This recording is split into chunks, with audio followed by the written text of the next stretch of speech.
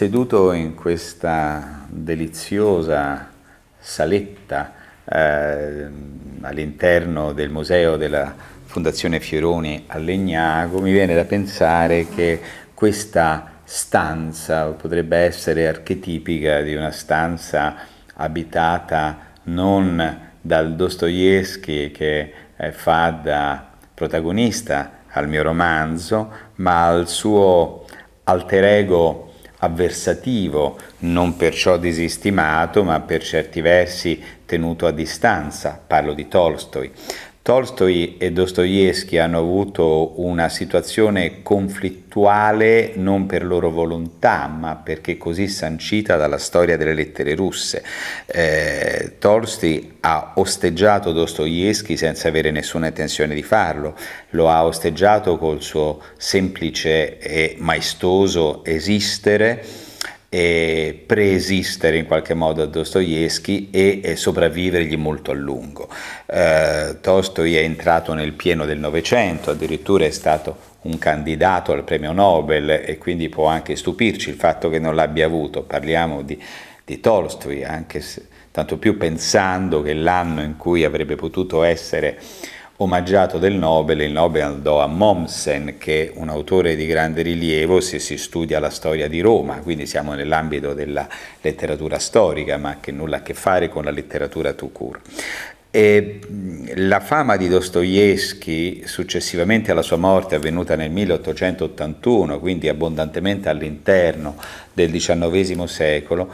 in realtà è stata una fama da, ben, da presto compromessa dagli eventi, dal grande magistero del, della presenza tostoiana e poi dagli eventi della storia che porteranno sino alla rivoluzione russa. E qui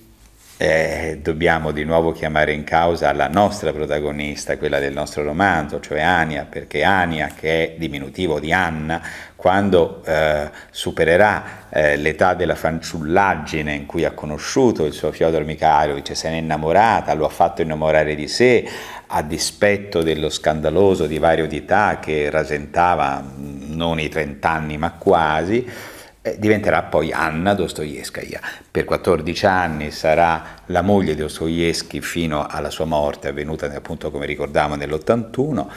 e formerà con lui una vera azienda letteraria, eh, provvederà alla, alla, diffusione nel mondo delle opere di Dostoevsky e, e dopo la morte di Dostoevsky provvederà anche a eh, tenerne viva la memoria. Ehm, eh,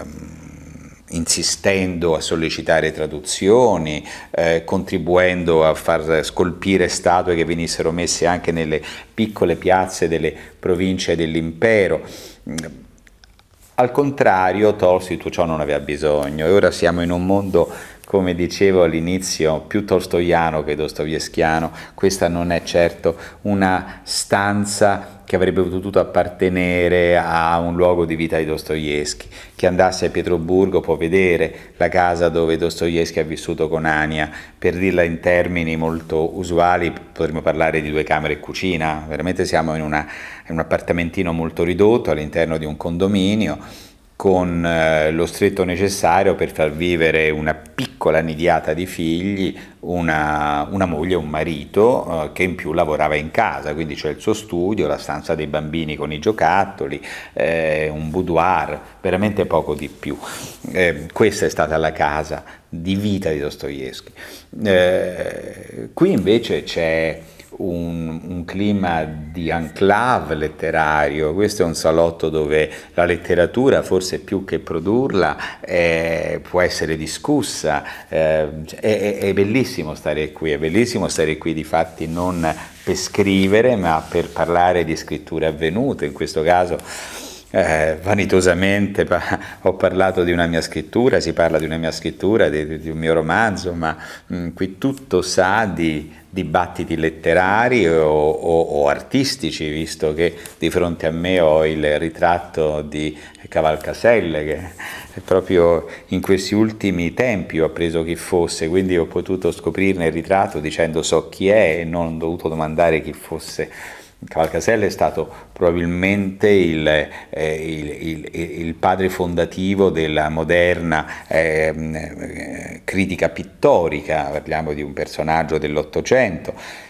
per motivi di altra mia scrittura sto leggendo le meravigliose pagine di Roberto Longhi, che ci è molto più noto e presente, sicuramente il più, eh, il più luminoso fra gli scrittori d'arte del Novecento, maestro di Pasolini, l'unico che Pasolini abbia riconosciuto come proprio maestro, e lì ho scoperto Cavalcaselle e ora l'ho di fronte a me, quindi penso che